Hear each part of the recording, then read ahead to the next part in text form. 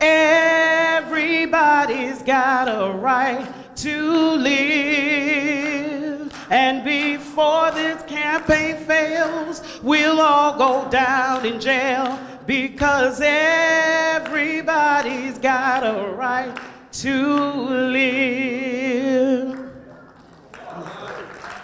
Good morning and welcome. My name is Ian Reese from Union Theological Seminary, and today we are going to be announcing uh, with Repairers of the Breach and the Kairos Center uh, the Souls of Poor People Auditing America 50 years after the Poor People's Campaign challenged racism, multi militarism, and I'm sorry, militarism, poverty, uh, and our national morality. Uh, please welcome Reverend Fred Davie.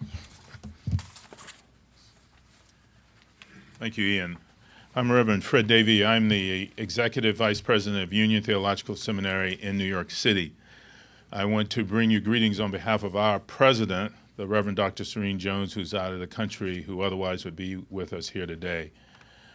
Union Seminary is a place where scholarship and faith meet to reimagine the work of justice. And it is the work of justice that we're about here today, where scholars and theologians and ministers and activists meet to look at the issue of poverty, uh, the issue of poor people, as a part of that work of justice.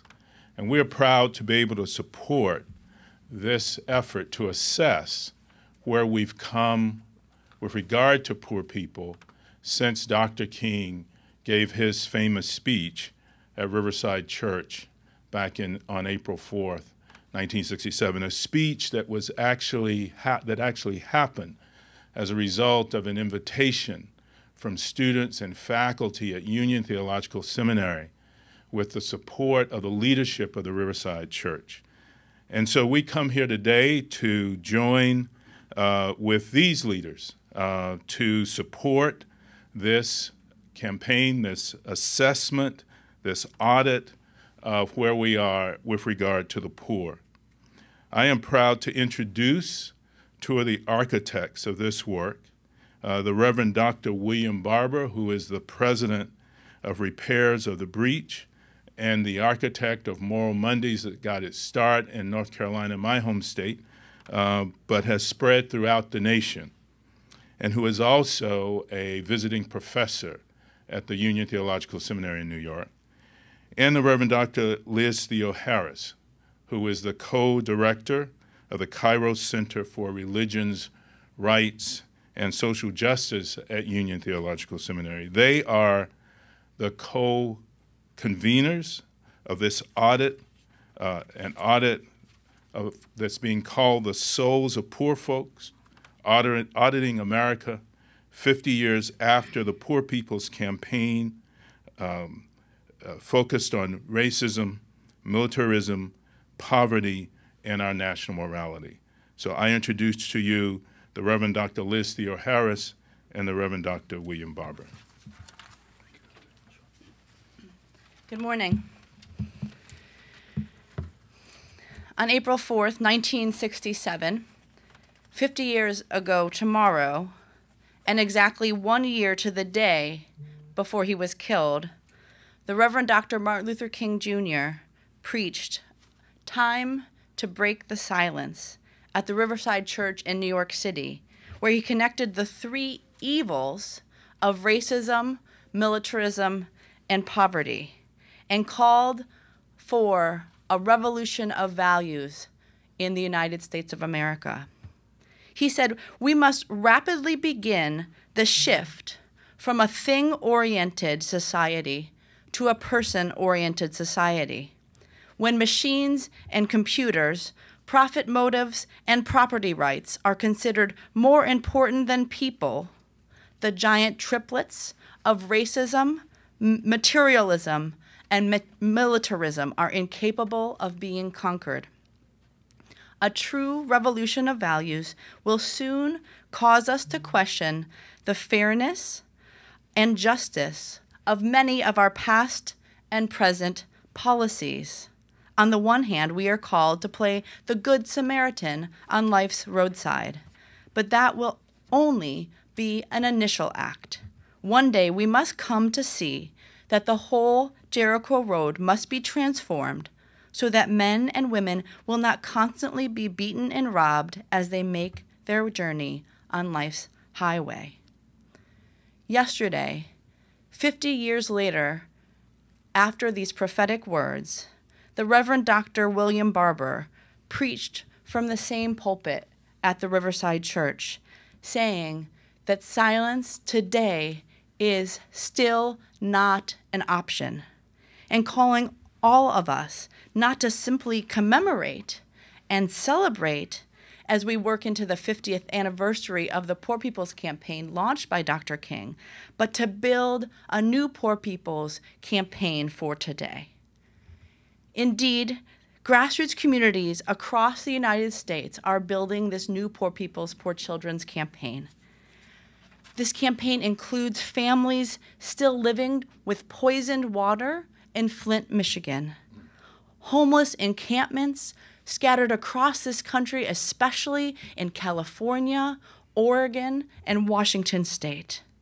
Journalists and impacted residents in the Gulf Coast who are struggling to make a livelihood and to live healthy, fruitful lives more than 10 years after Hurricane Katrina and five years after the BP oil spill. Families in the US Mexico border calling for hugs, not walls. Other families living without basic sanitation services in Lowndes County, Alabama.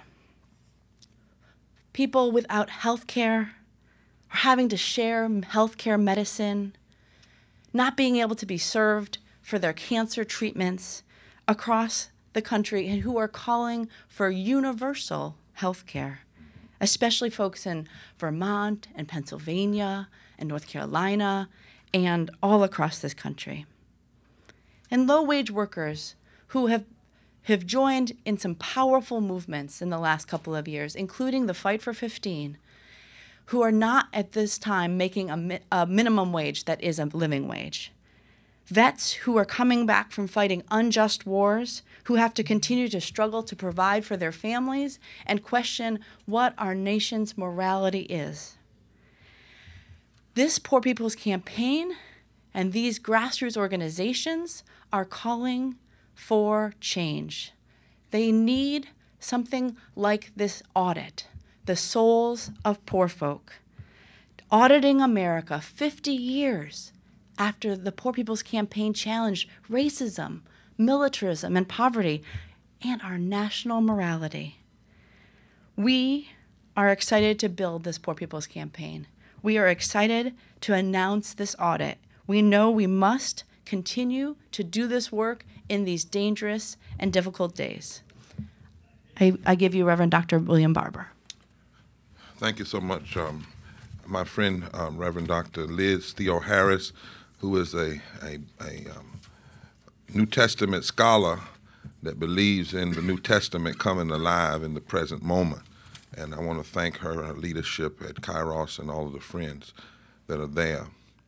Um, I'm holding a couple of people I want to talk about, as Liz and I are the conveners, but the brainchild, the the the the father, if you will, of this call for an audit. Um, I want to talk about in just a moment the souls of poor folk, poor folk, auditing America since the Poor People's Campaign challenged America around racism, poverty, militarism, and our national morality. Where are we really? Where are we? That's what this audit will take up. Where are we when we know that we have voter suppression alive and well, and the Voting Rights Act weakened more than it was in 1965? Where are we really on the issue of poverty and the living wage over these last 50 years? Not just where are we from a Democratic perspective or Republican perspective, where are we really as a nation? Where are we when we look at military, this military industrial complex. Where are you? Where are we when we really look at child poverty? Where are we really when we look at the moral issues of every major religion, religion and our Constitution? The issues that come up are how do you treat the poor, the sick, the stranger, the least of these, the common good? How do you promote the general welfare? How do you promote justice, the establishment of justice, and equal protection under law? Where are we really on these questions? That's what this audit will raise. Why are we having, for instance, a conversation about health care without it being discussed as a moral and human rights issue? Where are we really? Where are we really when we hardly ever hear the word poor and poor people and policies that impact poor people as a part of our national political discourse and sometimes hardly ever from our pulpits? Where are we? Where are we really when we look at the state of this nation? Where are we when you can take a map and, and on that map graphically show all of the 22 states that have engaged in voter suppression, and then put overlay that with the map of the states with the highest level of poverty, overlay that with the map of the highest number of ch- children in poverty, overlay that with a map of the need for health protection, health insurance in those same states, and overlay that with the map of whether or not those states have living wages overlay that with a map that looks at the kinds of laws the states have passed as it relates to our LGBT community and our Latino and immigrant, and they become the same states for almost 100%. Where are we really 50 years later when 10 of the poorest states in this country, 10 of the 12 poorest states, are in the South? And yet we continue to elect people from those very areas who are the most ardent adversaries against programs and policies that would promote racial justice, income equality, and alleviation of poverty and living wages and health care. That's why we are calling for this audit.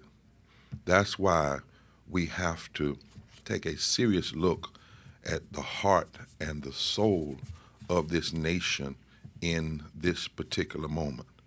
Where are we? But this audit, finally, is not just an audit for a file or for a news story. We're calling for this audit and this analysis because we must take action. And we can no longer afford to have these memorial services about the, the March on Washington or the March across the Edmunds Pettus Bridge or the Poor People's Campaign that Dr. King never finished because he was assassinated before they finished it. We're auditing so we can understand and we can set our plans in order for a reimagination and a re-engagement of a national moral poor people's poor children campaign in 2018 built from the states up and even in the capital, Washington, D.C., which will include all of the things that the first Poor People Cam- Poor People's Campaign imagined, including putting the faces of poor people out front, including civil disobedience, including challenging systems of power, because we must shift the narrative of this nation.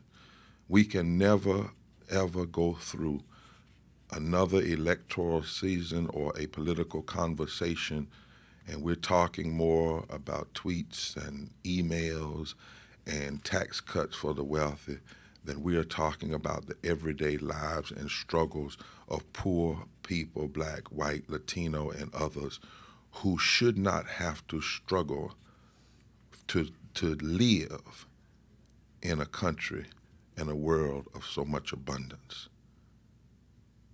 And so this audit is to set our course. I want the media to know that Dr. Forbes is the brainchild, if you will, the father of this idea, Dr. James Forbes, pastor emeritus of the Riverside Church, of this need to audit America. It's deeply rooted, and he'll tell you the theology behind the need for it. He will be one of the tri chairs of this audit uh, committee and task force. He's to my right.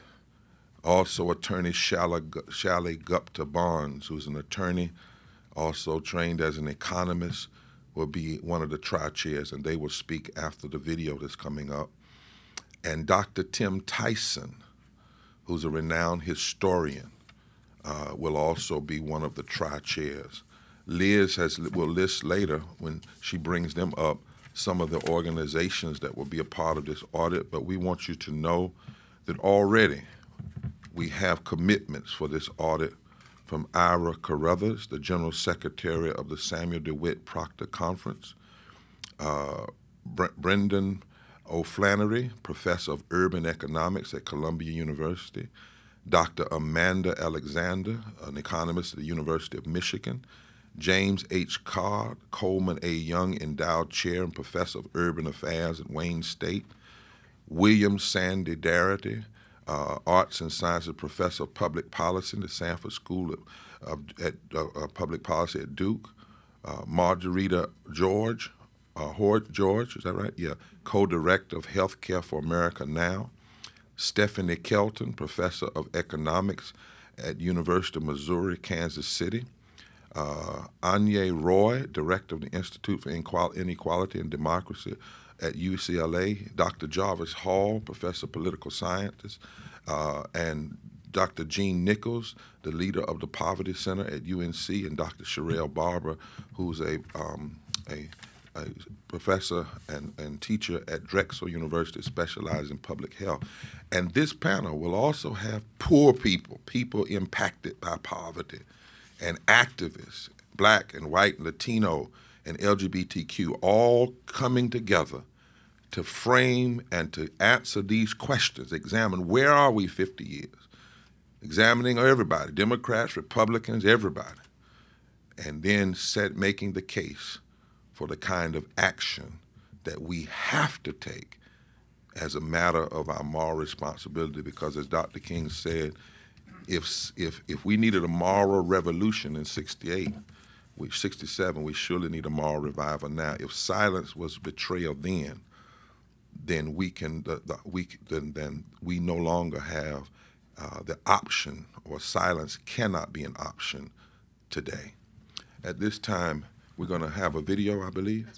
So we have all the persons standing to sit, and then we're going to come back and have Dr. Forbes and Shailly, the leaders of this audit, to speak to members of the media. This is just a short video for about five minutes. No person should have to be sick because they do not carry a plastic card. I want to tell you about my daughter Venus. Venus started her journey about 14 months before she was diagnosed with stage 4 breast cancer. She was unemployed and her husband worked only part time. My husband, he's got congestive heart failure.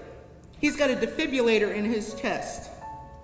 His medication is over $600 a month that we can't afford because we have no insurance. I've worked since I was 14 years old. Sometimes I've had insurance, sometimes I haven't had insurance. But I managed to make it through my life up until one point about three years ago. I got a bad infection in my toe. Now, I didn't have insurance at the time. Went to Christus St. John Hospital. They looked at it, they said, Yeah, that, that's pretty bad toe. Uh, you got insurance? Uh, no. Well, how about uh, Medicaid? No. Well, how about a $5,000 bond? No, I ain't got any of those things. Well, then, you'd probably be okay. You should probably just go see your doctor. I'm going to send you back out on the street. You're fine. Just go on home. You'll be fine. I'm here because I only make $7.25 an hour, and I have two kids, and I'm a single mother. I have cervical cancer. I don't have Medicaid. I can't afford it. And I'm only getting sicker. Venus had to wait to be approved for every medical procedure she received and was waiting for approval for a CAT scan when she was at my house and said her head was hurting so bad she couldn't see. So we rushed her to the ER, and um, when she got there, she lapsed into a coma. And she finally got the CAT scan that she needed, and they found two tumors in her brain. One had ruptured. Uh, the next day, we gathered around Venus um, to say our goodbyes, and we unplugged the tube, and Venus died. When my father passed, I continued in home care to make a difference in other people's lives, such as our elders who have sacrificed so much on the front line, for us, the youth that are coming behind them. I also do it for veterans who come home from war, as well as children with mental disabilities and handicaps. I go into their homes using my own transportation, where I provide not only nutritious meals, but I check their equipment that they use on a daily basis to ensure that they get around safely. I also do their grocery shopping. I help them with sanitary conditions. And in doing all of this, I receive $8.10 an hour. $8.10 an hour with a family of six children. I got a 10 year old son, his name is Ian. I had to have a conversation with him of how he needed to act if the police ever stopped him. I had to tell my 10 year old son that if they stop you, don't move too fast. If they stop you, put your hands up so they can see your hands. If they stop you, be polite. Say yes, sir. Because it's more important for you to come home at night than anything else. I tried my best, and within two months of senior year of high school, I was accepted into college. First one in my family, first one in my neighborhood. But, but then I received an email. The email went something like this.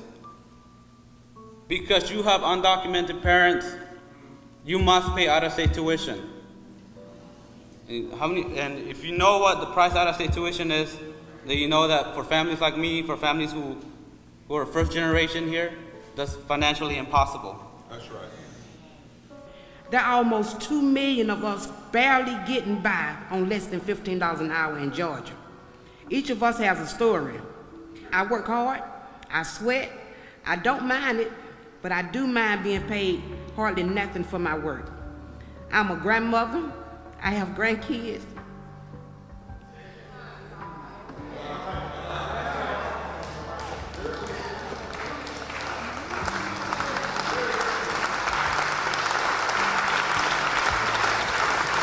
even though many parents have buried their children. No parent should have, in America, should have to bury their, their child for a lack of medicated space.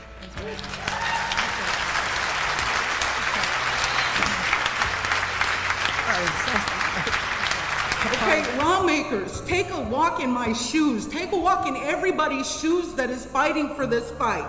That fight is not just for me, but for everyone who's living my struggles. It's a fight for our rights and dignity as God's people. But we need all people of faith to join us in this fight for better lives, all workers. We will win. Will you join us?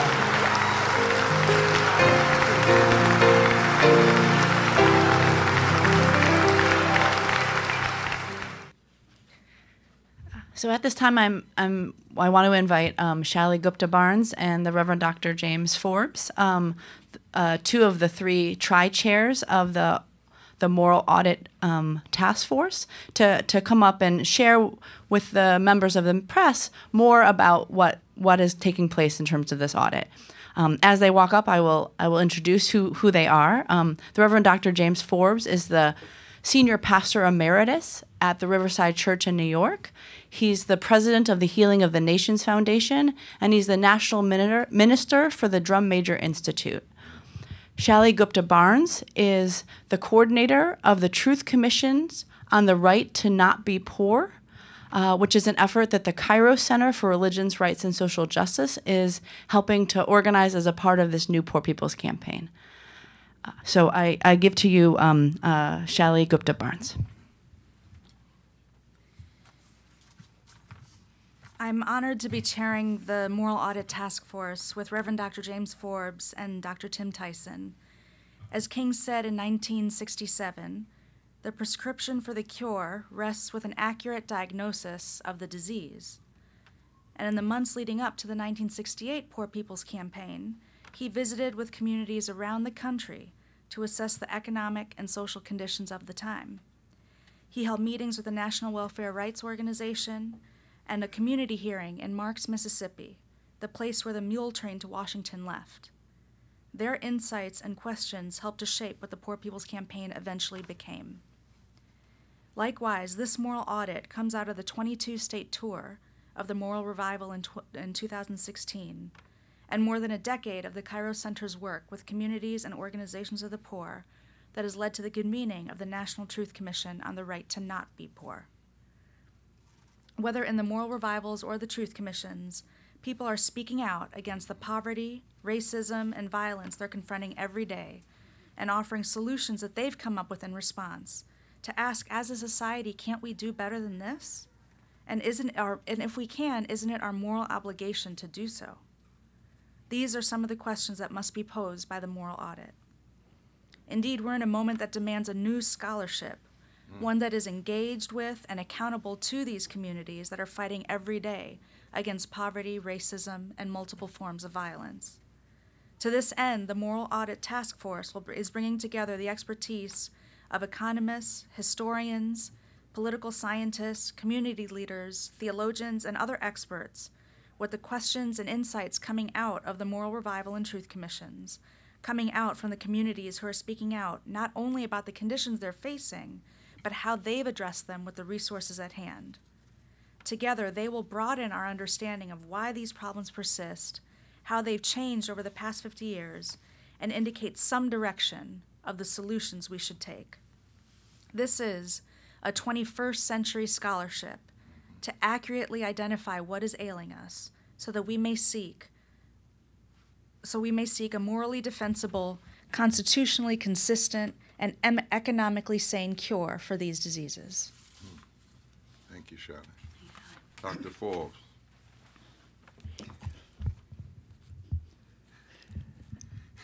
It is important for you to observe that I'm holding a Bible at the National Press Club. That's largely because Reverend Barber, over the course of the 22 states we traveled in, kept lifting up his Bible, so I thought I'd finally get the point. I will not read from this Bible except to say the context from which my notes are taken are related to a section in the Bible that talks about a time when, and this is what it says at verse 41 then he will say to those at his left hand, You that are cursed, depart from me into the eternal fire, prepared for the devil and his angels. For I was hungry, and you gave me no food. I was thirsty, and you gave me nothing to drink. I was a stranger, and you did not welcome me, naked, and you did not give me clothing, sick and in prison, and you did not visit me. Then they will answer, Lord, when was it that we saw you hungry or thirsty or stranger, or naked or sick, and did not take care? Then he will answer, Truly I tell you, just as you did not do it to one of the least of these, you did not do it to me. Basically, the work I am talking about is related as in documents when we say whereas, whereas, whereas, now therefore. Those verses are the whereas. Now therefore, so let me get to the now therefore. The now therefore says that the idea of a national audit came to me as I reflected on the upcoming 50th commemoration of the assassination of Dr. Martin Luther King Jr. Now, I was functioning out of a legend that I had heard. According to the legend, there is a tradition in heaven of honoring martyrs on the occasion of the 50th anniversary of their death to show that they did not shed their blood in vain. In order to show the degree of progress since 1968, when Dr. King was assassinated, the year of his death, we would be given by heaven the opportunity to measure increments of improvement in key areas of justice, compassion, and civil respect. It occurred to me yes, the Kerner Commission report released in 1968, reminding us of two Americas, would be a helpful baseline for doing a 50 year progress report. Now, the temptation would be to share anecdotal assessments. But if the purpose is to enable us to set concrete targets of democratic purpose and democratic aspiration, the more concrete and measurable, Mr. Economist, our efforts would be, the data would be, the more effective will be our ameliorating efforts. So, when the idea of an audit was first advanced in 19 in 2014, I anticipated that we would have 2 years of serious national investment in moving towards the realization of Dr. King's comprehensive dream. And then we'd have 2015, 16, and 17, 3 years to work and then by the time we got to 218, the actual year, we could provide a wonderful basis of celebration of how far we have come since the shameful manifestations of brutal, bigoted resistance to the dream of liberty and justice for all. But now, with less than a year to get ready for the Jubilee year, our project must be more modest. An audit will give us the opportunity to be clear about the deficit in our democratic attainments and inform our resolve to set forth a legislative agenda and to refurbish our ideals and values about the kind of nation we want to be. Even such a modest achievement will serve as a positive expression of appreciation for the courageous witness of Dr. King. Now, one area of glaring unfinished business is the continuing condition of deprivation of the poor in this country.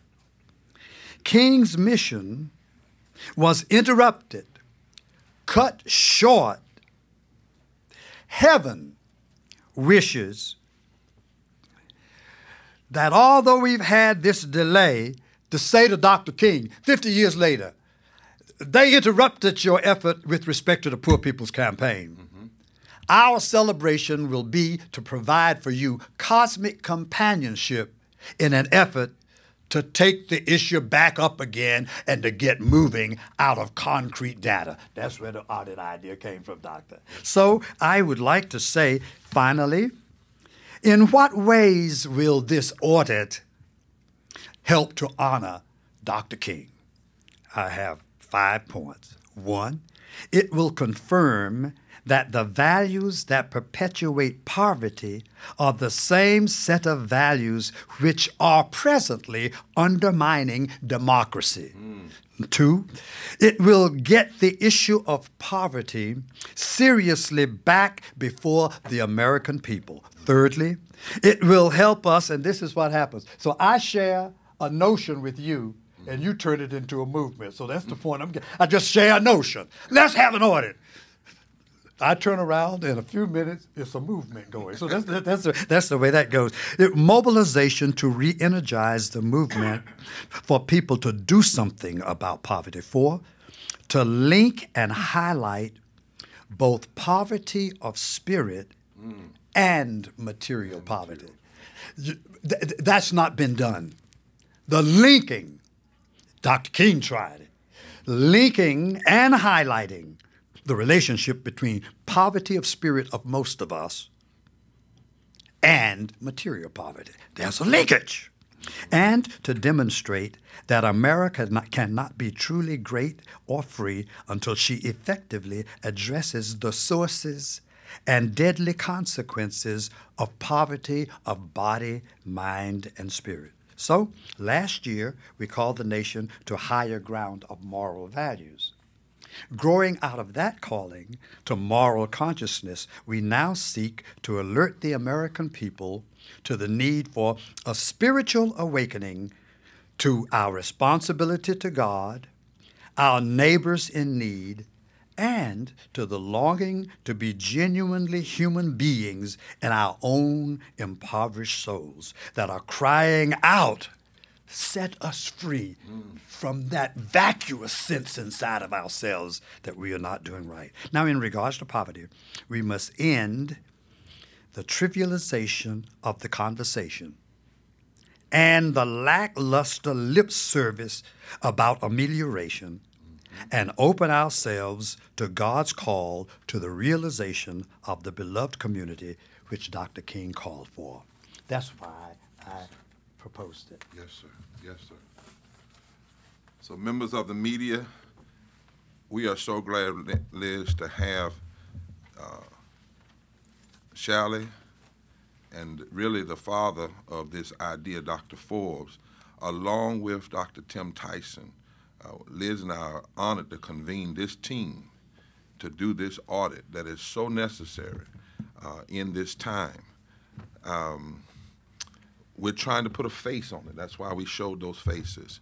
We have a dear sister here who, right after this press piece, is going to speak to members of the media. I hope you would talk to her individually. She's a, a, a worker that's fighting for 15, uh, a mother, and puts a face on this issue of poverty. We cannot uh, any longer just move through commemoration, commemoration, without taking assessment of where we are. And you cannot, you, as, as one scripture says, this, as you said in this Bible, you must do more than honor the tombs of the prophets. In fact, too many people, the Bible says, love the tombs of the prophets. Uh, we try to commercialize prophets once they're dead and, and make their uh, words and their actions more palatable uh, to us rather than uh, recognize the only way you can honor the prophet is to pick up the mantle or at least allow it to fall on you and continue to move forward. And we have work to do. Uh, I would lastly say um, there's a reason why if we're going to deal with this deficit of spirit or this moral deficit that this summer I tried to talk about uh, being moral defibrillators of the heart of the nation.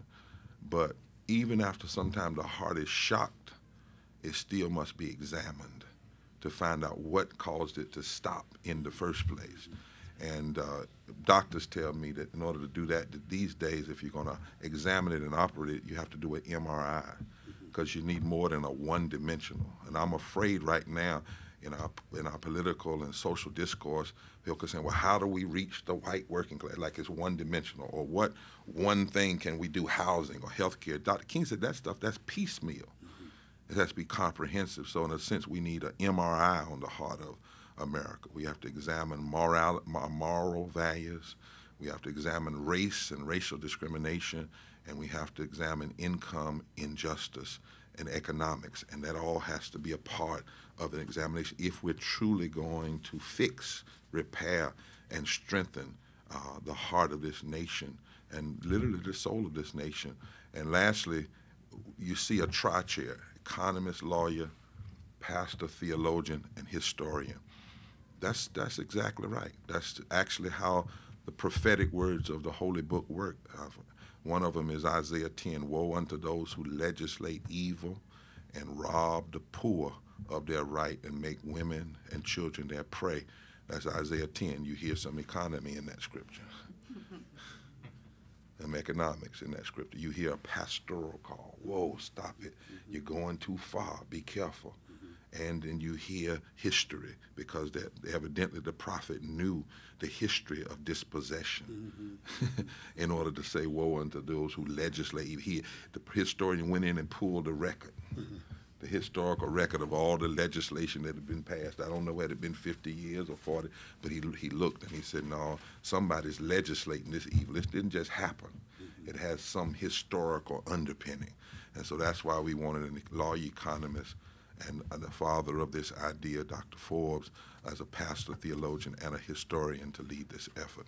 Uh, let me stop right. Jo- come on, join us at the mic, because there's a question may come up, and you may and, and tell us who you. Who what's, this is my good friend. What, I met you, but I can't remember that last name. Shimon Gilbert. Shimon Gilbert, who was just with us with about 150 clergy and activists a few weeks ago from 20 some states that are now. Uh, we didn't just go on a preaching tour. In 20 some states, Dr. Forbes and myself and Sister Simone and others and, and Lynn, we trained th- over a thousand clergy and activists. Uh, because in the movement side of this Poor People, Poor Children's campaign, it will be built from the states up. We're talking about comprehensive action to put a face on poverty, but not just arguing cursing the darkness, but having an agenda that points us toward the light and the possibilities of America. That is the question before us. Is this thing called America possible? Is it possible to be one nation under God, um, indivisibly, with liberty and justice for all? we have to answer that question in this time with our actions. Members of the media, if you have questions. Any questions for? Yes, sir. I have one. I, mean, I, I heard the word morality a lot. Morality, morality. Mm-hmm. Um, why do you or, or y'all think that um, a moral appeal will work in ways that other appeals have not worked in the past? And and I guess the second part of that is, who is it directed towards? Is it is it legislators? Is it Trump? Is it the masses? Well, notice, I think I would say, and I'll let Dr. Forbes and others, let's, let's say moral action, not just moral appeal, moral articulation, uh, moral analysis, and moral uh, action. Secondly, note that we said that one of the things we have to recognize is that poverty is a, is an, that, that that poverty is a moral issue. Budgets are moral issues. Dr. King said that um, policies are moral issues. The challenge we have, and I guess it's, directed in multiple directions, uh, because the challenge we have is the eerie moral silence on these issues of injustice and poverty and racism. And we need a reset in the nation because too often what we've had is this quote unquote form of so called um, uh, evangelism that says the only moral issues are being against homosexual community or for prayer in the school or against abortion. Actually, in all of our religious documents um, and our religious faith, the greatest moral issues are where how do nations, not just individual charity, but how do nations and policies uh, lift up the poor or hurt the poor, the sick, the oppressed, the stranger, the least of these. And secondly, every major progress in this country the abolition of slavery, the women's right to vote, the civil rights movement, the New Deal, uh, living wages, union rights, if you trace that history, all had a deep moral underpinning and had a deep moral analysis. That's something we've often lost in our conversation uh, today. Um, and, and then lastly, um, uh, you asked how it's directed in the Moral Monday movement. We directed it at the faith community. We directed it at the legislative bodies because legislators are making moral decisions. This debate showed it just a few weeks ago where uh, you have a debate about health care. People are talking about dollars, but they weren't talking about death. People will die without health care, are dying today. Uh, Harvard study says for every 25, every 500,000 people that didn't receive Medicaid expansion, something like 2,000 people are dying. So we're talking about policies of death. There's a economist at uh, MIT, um, Otto Scharmer, who talks about how we commit violence against the poor by not even calling their name. You know, that, that policies can be violence. And violent, when you say something is violent, you're making a moral determination about those policies. Um, so over and over again, we have to uh, uh, address these issues. Uh, when we go through um, political campaigns, uh, and, and, and, and I've heard in Congress people get up and say things like, well, the poor will always be with you, therefore we should cut health care. They're making a moral judgment. In fact, it's an immoral judgment, and that needs to be challenged. Um, And then lastly, it's not just a matter of religious faith. Our Constitution is framed in some deep moral principles. The Constitution doesn't talk about I, like I alone, I can. It starts with we. This notion of community is a is a part of constitutional morality. The first principle of our Constitution, not for individuals, but for the nation, is the establishment of justice. We have to ask what is just about 64 million people in America making less than a living wage, 54% of all African Americans making less than a living wage. What is just? What is just about promoting the common good is a moral principle. Providing for the general welfare. We made in our public discussion, somebody helped make welfare a bad word. Well, welfare is in the very moral framing of the Constitution. So that's the so we are saying we have to reframe and reset our very understanding of national morality. Let, let Dr. Forbes respond. Why do we believe that the moral appeal will effectively alter the landscape of America? I saw it happen once in New York on 9 11. I saw a very brief moral moment where the future well being of one group of people covered with gray, they were white, and another group of people covered with gray, they were black. But it became a brief moral moment when they recognized that the common threat reduces the significance of those indications of our difference. It became a very highly moral moment. Not for long, but during that time, white folks let black folks get in their cars, rich folks let poor people get in their cars, poor people help rich people who were staggering across the bridge. When there is a common threat to our well being, it predisposes the moral consideration of what must we do to be human beings together. Now, according to Robert Friedman's book, Thank You for Being Late, he makes a good case that all of us at this point in history, the 50th anniversary of Dr. King assassination comes at the time when through technology, through globalization, through all sorts of challenges in terms of climate, the human beings are more under a common threat than they are under individual prerogatives or, or interests. It is the common condition, the perilous commonality we face today that makes me think that the human element of moral consideration, that's not right, that's not fair, will be heard more clearly if we effectively put that case before the nation. It is those conditions that make me think, yeah, we've been moral all along. We don't always act on it. But history brings about conditions under which we are more inclined to recognize guess what?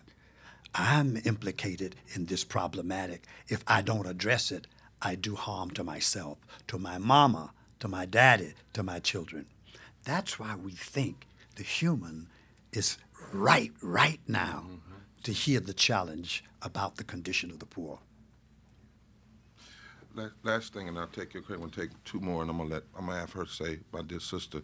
Um, part, one of the persons we're gonna ask to testify before this task force also is Joseph Stiglitz, Nobel Peace Prize economist who wrote the book The Price of Inequality. We don't often hear that conversation.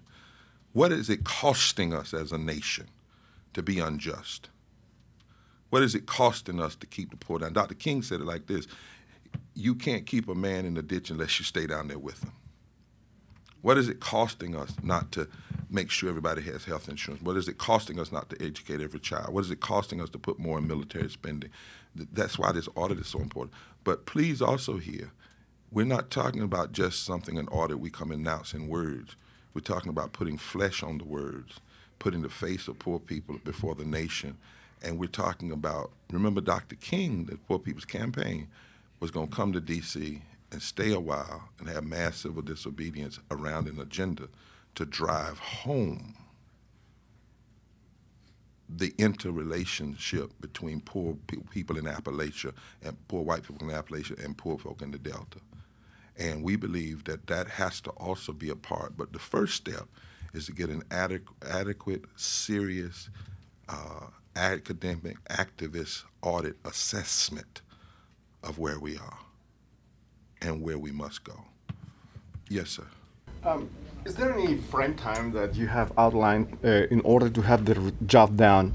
December. December the 4th was when, yeah, December the 4th was when Dr. King announced um, the Poor People's Campaign. Our goal is to have this audit completed uh, in December of this year and also to set out the steps and the actions before the nation that we'll be taking in the year of 2018. Now, we will not begin. We are we're already begun now. The moral revival. There are truth commissions going on. We'll be doing things this summer and moving around uh, because this is ongoing work, uh, and it must not merely be 2018 and end. Or, or a beginning that ends in 2018. We're saying campaign. Please hear those words, not rally, not event, but we must have a new modern day poor people, poor children campaign and movement. Liz, you had a comment? Um. So, so yeah, I just wanted to, you know, echo um, what was what was just being said in terms of both this question around morality and why we're framing it in moral terms, and and what the the the next year's worth of activities uh, look like. And so, you know, I think we're seeing very dangerous and difficult times right now. Um, the attacks on poor people, on people of color, on folks that are standing up for environmental rights are increased, um, and and there is a, a deep theology and a morality that is underpinning that. Um, Reverend Barber spoke to this um, when he referenced um, Representative Marshall's comments around that health care bill, where in justifying cutting millions off of health care, uh, he quoted the Bible and said, The poor will be with you always. Um, this past week, um, in some of the debates around food stamps and SNAP, uh, other uh, Republican representatives um, uh, have have also used biblical texts. Uh, they've quoted things like Second Thessalonians, uh, "If you shall not work, you shall not eat." Mm. There is right now a concerted attack on poor people that people are using the Bible inaccurately to do. And if we do not counter, if we do not say that this is wrong, and that theologians and biblical scholars agree, and that social scientists and economists agree that people that are impacted by raising um, by, by the rise of climate change by the impact of low wages that we do not agree that that this is not the nation that we are are called to be and to called to become then then this attack will continue we will we will be reduced to trying to fight back these cuts. And when we know what's possible in this time and what was possible uh, in King's time was something that was proactive and preventative of these types of attacks. Um, so what this Poor People's Campaign is about is who are all of us. One in two Americans are poor or low income. We're not talking about some group of poor people over there that have nothing in common with everyone else. One in 43% of American children at some point are going to need some kind of food assistance. 80% of this country cannot handle a, a, a payment of $400 if that's because a, an emergency payment that will put them into financial ruin and crisis. We are living in a country that has the productive capacity to house people, but we do not do it. Mm-hmm. And, and these kinds of moral contradictions. They're also economic contradictions. They're also political contradictions, but they are moral contradictions, are unnecessary, and they're the definition of what is immoral and unjust. And, and so this Poor People's Campaign is about putting the facts, figures, and faces of who is poor, who is express, experiencing violence, who is experiencing discrimination, and, and saying those people if they come together with others who see that their conscience is being moved by what's happening, then we can change the tide of what is going on. And and so so we're very excited about actually the possibilities of changing you know, reviving the heart of our democracy, as Reverend Dr. Barber has has has reminded us. Um, and so, in this next year, as Dr. Barber was saying, there are activities that are, are that are accompanying this this moral audit, and that is activities of Fight for 15 workers, of Walmart workers, of of folks that are are are experiencing environmental injustice and the poisoning of their water, folks that are standing to try to stop pipelines in their communities. And those folks, we're coming together. And we're coming together and we're going to be informed by and we're going to help to inform this moral audit in order to be able to, to, to have proactive solutions to the problems that are facing this nation and this world. We are not living in a time and a place of scarcity. We are living in abundance. But what we have is wholesale abandonment of our people in the midst of abundance. And we think this is wrong. We think there's another way to do it. And, and this, this team of auditors and, and other folks that are impacted, that are fighting on the ground as we speak right now, are, are the hope of this promise of America. Yeah. Thank you, Liz. We're going to have one more. Thank you. Yeah. We're going to have one more person. Please take a look at the impact, for instance, the Monday movement had in North Carolina, how you frame it. Lastly, we don't separate morality from economics. Budgets are moral documents. All these issues are moral issues. That's that's part of been part of our struggle. We separate them over, and people have reduced to what Dr. King said, thinking charity is morality, individual charity, rather than looking at, at um, policy and and, and, and for instance, how you know immoral it is that we've had the worst voter suppression, for instance, we've had since '64, since since '65. We had 25 presidential debates and not a word about it. We didn't have one presidential debate on the issue of poverty, Democrat or Republican. That's we. We, some, we, have, we have a moral deficit, and we have to have a, a major moral reset. We were just talking about money, and $868 billion being cut from Medicaid, the worst attack on the poor since the program started, and that was not framed as a moral issue, as a human rights issue. So that's what we mean by, and, and lastly, we're not left, the, the media I said, well, these folk on the left, there's not, we're talking about the moral center, we're not talking about left and right. It's not like, you know, where you got these moral leaders that are on the left who believe, as Dr. King believed, that everybody ought to be guaranteed a living wage if you're working. That's not a left issue. You know, that's that. We, politicians guarantee themselves health care. They guarantee themselves a salary. So how do you guarantee yourself a salary and health care and, as an elected official, but you don't want the same thing for the people that elected you? We see deep moral contradictions. And lastly, we put a face on it. So I want to close once again. This sister is a face of the fight and I want her to say a word, and then we close out. We have to move out of this room. Yeah. Hello, my name is Shimon Gilbert, and I'm a leader with Virginia Wait Raise Up, part of the National Fight for 15. A low, I'm a low wage worker. I'm a mother of four beautiful kids. I live in Roanoke, Virginia. I work very hard. However, I still struggle to afford things we really need, like stable housing and medical care for ourselves and let alone the things I want to be able to do to provide for my my children. And we and we just are one family in one city with one story. Millions of people deal with these same issues. Millions millions of workers working hard every day and they still come up short. This is why I joined the fight for 15. I know this isn't right. It isn't right for parents to give up so much precious time with their children to earn a living only to come home was still struggling and still struggling to provide for them, to afford childcare, to make them feel special and safe. It isn't right for me and the dedicated, smart, kind folks I organize with at Raise Up to feel like we're running in circles and never able to catch up.